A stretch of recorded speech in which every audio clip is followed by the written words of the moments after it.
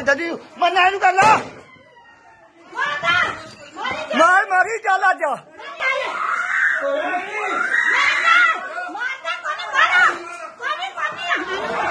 ਮੁੰਡਾ ਨੂੰ ਕਰ ਲੋ ਲੈ ਬੂਆ ਕਿਵੇਂ ਕਰ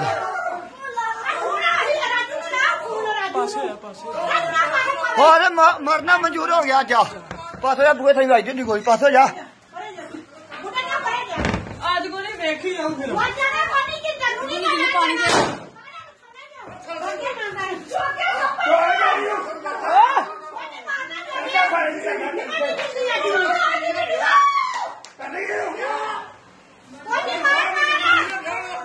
ਕੋਈ ਗੱਲ ਨਹੀਂ ਕੋਈ ਗੱਲ ਨਹੀਂ ਪਾਸੋ ਜਾ ਪਾਸੋ ਬੰਦੇ ਹੋਇਆ। ਇਹਨਾਂ ਡੱਕ ਦੂ ਅੱਜ ਮੈਂ। ਪਾਸੋ ਜਾ ਉਹ ਮੁੰਡਾ ਨੂੰ ਕਰ ਲਾ ਕੋ ਆ ਫੋਨ ਲੰਮਾ ਕਿ ਬੂਏ ਦੇ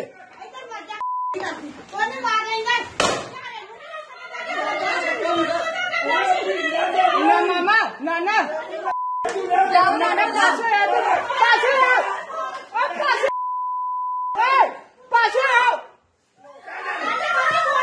ਰਾਜੂ ਰਾਜੂ ਨੂੰ ਫੋਨ ਨਹੀਂ ਕਰ ਰਾਜੂ ਨਹੀਂ ਕਰ ਫੋਨ ਲੈ ਔਰ ਕਾ ਉਹਨਾਂ ਨੂੰ ਹੈਪੀ ਨਾ ਕਰੋ।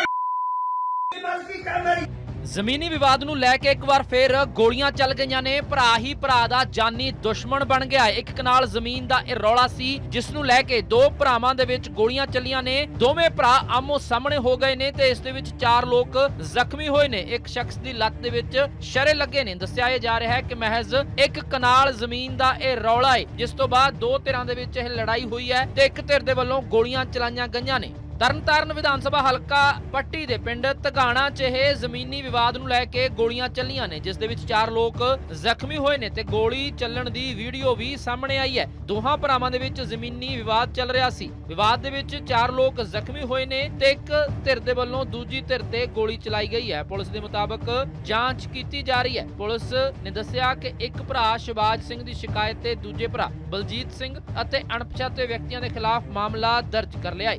ਅਤੇ ਜੋ ਗੋਲੀ ਚੱਲਣ ਦੀ ਵੀਡੀਓ ਵਾਇਰਲ ਹੋ ਰਹੀ ਹੈ, ਉਸ ਦੀ ਵੀ ਜਾਂਚ ਕੀਤੀ ਜਾ ਰਹੀ ਹੈ। ਤਾਂ ਦੱਸ ਦਈਏ ਕਿ ਇੱਕ ਵਾਰ ਫੇਰ ਜ਼ਮੀਨੀ ਵਿਵਾਦ ਦੇ ਕਾਰਨ ਇਹ ਗੋਲੀਆਂ ਚੱਲੀਆਂ ਨੇ। ਦੋ ਭਰਾਵਾਂ ਦੇ ਵਿੱਚ ਗੋਲੀਆਂ ਚੱਲੀਆਂ ਨੇ। ਇੱਕ ਕਨਾਲ ਜ਼ਮੀਨ ਨੂੰ ਲੈ ਕੇ ਗੋਲੀਆਂ ਚੱਲੀਆਂ ਨੇ, ਜਿਸ ਦੇ ਵਿੱਚ ਇੱਕ ਭਰਾ ਜ਼ਖਮੀ ਹੋ ਗਿਆ ਏ ਇੱਕ ਦੇ ਲੱਤ ਦੇ ਵਿੱਚ ਗੋਲੀ ਲੱਗੀ ਹੈ, ਸ਼ਰੇ ਲੱਗੇ ਨੇ। ਜਿਸ ਤੋਂ ਬਾਅਦ ਪੁਲਿਸ ਨੇ ਮਾਮਲਾ ਦਰਜ ਕਰ ਲਿਆ ਤੇ ਜਾਂਚ ਕੀਤੀ ਜਾ ਰਹੀ ਹੈ। ਮਹਿਜ਼ ਇੱਕ ਕਨਾਲ ਜ਼ਮੀਨ ਦਾ ਇਹ ਰੌਲਾ ਏ ਜਿਸ ਨੂੰ ਲੈ ਕੇ ਦੋ ਭਰਾ ਆਮੋ ਸਾਹਮਣੇ ਹੋ ਗਏ ਨੇ ਤੇ ਗੋਲੀਆਂ ਤੱਕ ਚੱਲ ਗਈਆਂ ਨੇ। ਦੋ ਭਰਾਵਾਂ ਦਾ ਤਗਾਣਾ ਪਿੰਡ ਦੇ ਵਿੱਚ ਇੱਕ ਕਨਾਲ ਜ਼ਮੀਨ ਨੂੰ ਲੈ ਕੇ ਝਗੜਾ ਹੋਇਆ ਸੀਗਾ। ਇੱਕ ਵੀਡੀਓ ਕਾਫੀ ਸੋਸ਼ਲ ਮੀਡੀਆ ਦੇ ਉੱਤੇ ਵਾਇਰਲ ਹੋਈ ਆ, ਜਿਸ ਦੇ ਵਿੱਚ ਗੋਲੀ ਚੱਲਦੀ ਨਜ਼ਰ ਆਈ ਆ। ਬਲਜੀਤ ਪਾਰਟੀ ਵੱਲੋਂ ਸਹਿਬਾਜ ਪਾਰਟੀ ਦੇ ਘਰੇ ਜਾ ਕੇ ਹਮਲਾ ਕੀਤਾ ਗਿਆ 12 ਬੋਰ ਦਾ ਫਾਇਰ ਕੀਤਾ ਗਿਆ। ਜਿਹੜੀ ਸਹਿਬਾਜ ਪਾਰਟੀ ਆ, ਉਹਨਾਂ ਦੀ ਲੱਤ ਦੇ ਵਿੱਚ ਸ਼ਰਾ ਲੱਗਾ ਆ। ਜਿਹੜੀ ਬਲਜੀਤ ਪਾਰਟੀ ਆ, ਉਹ ਵੀ ਇਸ ਟਾਈਮ ਹਸਪੀਟਲ ਦੇ ਵਿੱਚ ਐਡਮਿਟ ਆ। ਉਸ ਨੂੰ ਤਸਦੀਕ ਕਰਨਾ ਬਾਕੀ ਹੈ ਬਾਕੀ ਜਿਹੜੀ ਵੀਡੀਓ ਵਾਇਰਲ ਹੋਈ ਆ, ਉਹਦੇ ਬਾਰੇ ਦੇਖਦੇ ਆ ਕਿੰਨੀ ਕੁ ਸਚਾਈ ਆ ਤੇ ਕਿੰਨਾ ਕੁ ਉਹਦੇ ਵਿੱਚ ਝੂਠ ਦੱਸਿਆ ਜਾ ਰਿਹਾ ਹੈ।